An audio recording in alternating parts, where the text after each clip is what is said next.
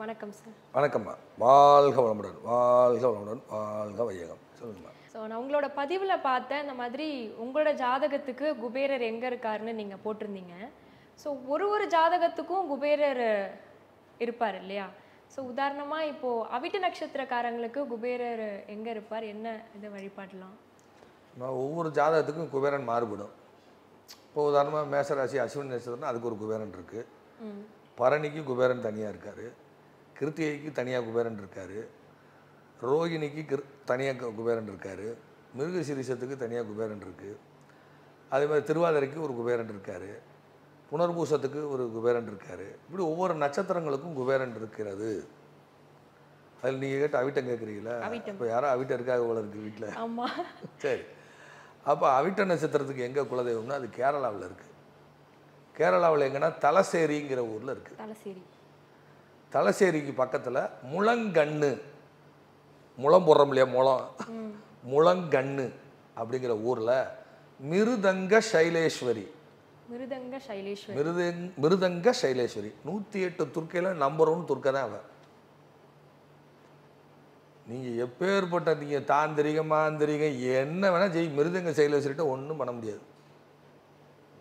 அந்த மிருதங்க ச சைலேஸ்வரனுடைய மந்திர பிரயோகம் தனியாக ஒன்று இருக்குது அது பண்ணியாச்சுன்னா எப்பேற்பட்ட செய்வனையுமே அடித்து தூள் கலப்பி காணாம போயிடும். மிருதங்க சைலேஸ்வரி தான் அந்த அவிட்ட நட்சத்திரத்துடைய குலதே அந்த குபேரன். ஒரு குருநாதர் என்னென்னமோ சொல்லுவாங்க. நான் அதெல்லாம் நம் இது என்னுடைய கான்செப்ட் நான் சொல்லி சக்ஸஸ் ஆகுது அதுதான் நான் சொல்கிறேன் ஸோ அங்கே போனால் அவங்க வாழ்க்கையில் வளம் பெறும். டாப்பில் இருக்கும். டாப்பில் இருக்கும். ஜாதகம் எங்கேயே போயிடும் ஓ. தசாபதி சப்போர்ட் பண்ணணும் மெயின் இப்போ ஆயிரரூவா வருமானம் வருதுன்னா அங்கே போனால் ஒரு ரெண்டாயிரரூவா கிடைக்கும். ஓகே அந்த ஜாதகத்துக்கு தகுந்த பாரு அவங்களுடைய ஊழ்வினை கர்மான்னு ஒன்று இருக்கா இல்லையா? இப்போ அவிட்டம்னா என்ன தசா என்ன தசை நடந்தா அது அவங்க பிறக்கும் போது செவ்வாய் திசை பிறந்து நடந்திருக்கும். இப்போ அவங்களுக்கு யோக திசை தான் நடக்கணும். ஒன்று அவங்க திங்கக்கிழமை போகணும் அல்லது செவ்வாய்க்கிழமை போகணும் அல்லது அவங்களுடைய பிறந்த கிழமைநாதன் அன்னைக்கு போகணும் அல்லது பிறந்த மாசத்துல வரக்கூடிய செவ்வாய்க்கிழமை போகணும். இப்போ ஐப்பசியில் வந்து ஐப்பசி மாசத்துல வரக்கூடிய செவ்வாய்க்கிழமை போகணும். இப்படி ஒரு லாஜிக் இருக்குது அந்த அடிப்படையில் அவங்க போகணும். இல்லை என்னன்னா போகும்போது நூற்றி எட்டு கோயில் போயிட்டு போவாங்க. அப்படிலாம் போகக்கூடாது. அதுக்காக நூற்றி எட்டு துர்க்கையும் பார்க்கணும்னு சொல்லலை. நான் உதாரணத்துக்கு சொன்னேன். போகிற வழியில் இருக்கட்டும்ன்றது ஒவ்வொரு கோயிலாக சாமியை கும்பிட்டு போய் அங்கே போய் கும்பிட்றோம். அது பலன் அளிக்காது. நூறு சதவீதம் பலன் அளிக்காது. நீங்கள் குபேரனுடைய கோயிலுக்கு போகணுன்னா அந்த நாளில் தான் போகணும். அந்த கோயிலுக்கு தான் போகணும். வேறு எந்த கோயிலுக்கு போகக்கூடாது. போகக்கூடாது. நேரா அங்கே போயிட்டு நேரம் வீட்டுக்கு தான் வரணும்.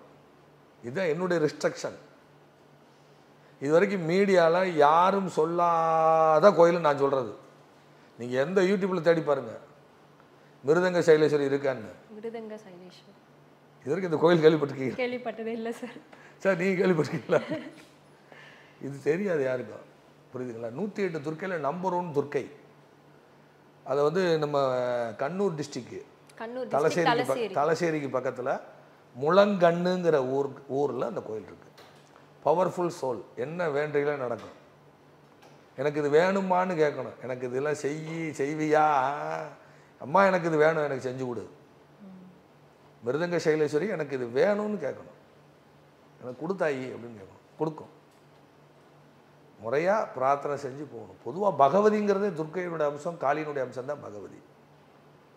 பகவதி லேசுப்பட்டது நினைக்காதீங்க பயங்கரமான தேவதை அது. நீங்கள் பகவதி வச்சு என்ன வேணாலும் செய்யலாம். செய்யலாம் காளி தானே பகவதி. பிரத்யங்கரா பகவதி எல்லாம் ஒன்று தான் துர்க்கை நம்ம ஊரில் துர்க்கை அங்கே பகவதி. நம்ம ஊரில் துர்க்கை நம்ம ஊரில் காளி அங்கே பகவதி.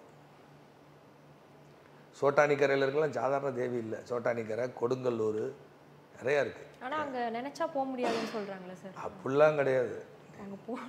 அப்படிலாம் சொல்லலை. யார் சொன்னா? நினச்சா தான் இல்லை. அப்படிலாம் இல்லை. யார் வேணாலும் போகலாம். யார் வேணா போகலாம். யார் வேணாலும் போகலாம். அது கோயிலும் அது என்ன செய்வன வைக்கிற இடமா? இல்ல இல்ல.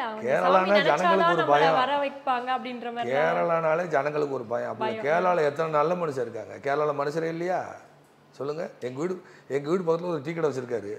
ஃபோன் பண்ணி ஐயா வீட்டில் யாருமே இல்லை. ஒரு ஃப்ளாஸ்கில் ஒரு அஞ்சு டீ கொடுங்க. அதெல்லாம் போன வைங்க. எல்லாம் கொண்டு வந்தால் குடிச்சிட்டு போ. கடையில் வந்து குடிச்சிட்டு போயான்னு போன வைக்கிறாரு. அதே ஒருத்தர் கே கேரளாக்காரர் நாயர் டீ கடை வச்சிருக்காரு. ஏட்டா ஒரு வீட்டில் இல்லை சேச்சி இல்லையோ? சேச்சி விட போய்? அவங்க கடை கடைக்கு போய் எல்லாம் அம்பலம் போய் சாயை கொண்டு தரும். கொண்டு வந்து தர்றாங்க. அஞ்சு டீக்கு அரை கிலோமீட்டர் அங்கேருந்து பிளாஸ்கில் டீயை போட்டு கொண்டு வந்து கொடுக்குறாரு. அவர் உழைக்காரு.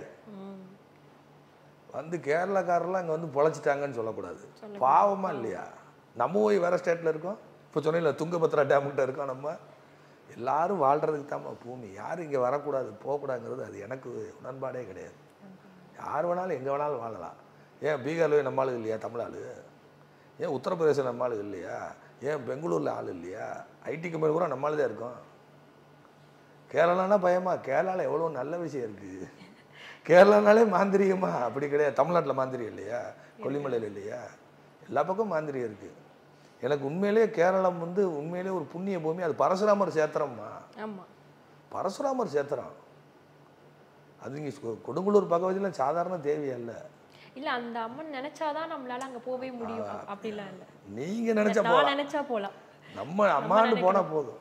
எத்தனை துன்பம் எவ்வளோ கஷ்டம் எவ்வளோ சோகம் அவ்வளோ வாழ்க்கையில் நிறைஞ்சிருக்கிறப்ப போய் அப்படியே அழுதுட்டு வருவேன் பிரச்சனை சரியாயிடும் ஒரு வாரத்தில் ஏதாவது ஒரு சொல்யூஷன் கிடைக்கும். அம்மேன்னு போய் கொடுங்கலூர் அம்மான்னு போய் அழுதுட்டு வந்தால் ஒரு வாரத்தில் பிரச்சனை சால்வ் ஆகும். அனுபவிச்சு தானே சொல்கிறோம் எனக்கு ஏதாவது வழி கொடுத்தாயி எனக்கு ஒரு வழி இல்லை. உன்னை நிற்க உன்னை வந்து கும்பிடுதேன் என்னை காப்பாற்று காப்பாற்றிருக்கா காப்பாத்திருக்காங்க.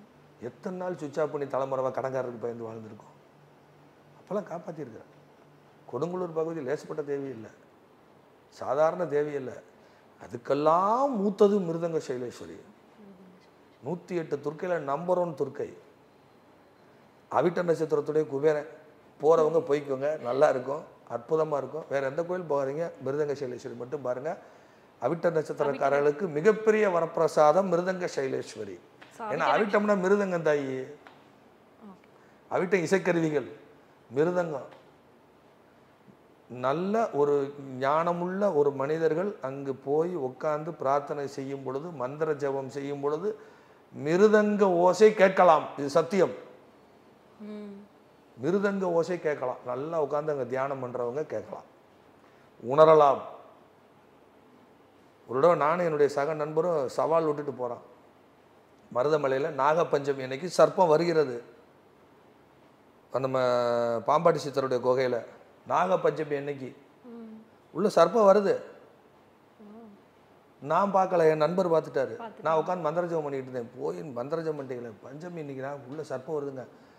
திருப்பி நான் நான் வந்து திருப்பி எனக்கு அந்த வாய்ப்பு இல்லையா? நான் வந்து சொல்லி இறை- இறைவான் பிரார்த்தனை செய்யும் திருப்பி சர்ப்பம் வருது. ஒரு நாளைக்கு அந்த நாகப்பஞ்சமி ஒரு நாள் தான் வருமா? ரெண்டு இடம் வந்தது வந்ததே இல்லையா? ரெண்டு இடம் வந்திருக்கு. ரொம்ப ஆச்சரியம் அது. அதே மாதிரி மிருதங்க சைலேஸ்வரியும் உணர்ந்திருக்கிறேன் ஒவ்வொரு நட்சத்திரத்துக்கும் குபேரனாக தேடி தேடி பைத்தியம் முடிச்சு அலைஞ்சிருக்கிறேன் மிருதங்க சைலேஸ்வரை பற்றி பேசணும்னா பேசிகிட்டே இருக்கலாம் மணிக்கணக்காக சாதாரண தேவி இல்லை. என்னை காக்கும் தேவி ரொம்ப ஒரு பவர்ஃபுல்லான சோல் அன்பர்கள் அவசியம் போங்க. அவிட்ட நட்சத்திர அன்பர்களுக்கு குபேரன் அங்கே தான் ஒளிந்திருக்கிறார். ஸோ அவிட்ட நட்சத்திரக்காரங்க பார்த்தீங்கன்னா கண்டிப்பா மிருதங்க சைலேஸ்வரி போய் நீங்க வழிபடலாம். உங்க வாழ்க்கை வளம் பெறும்.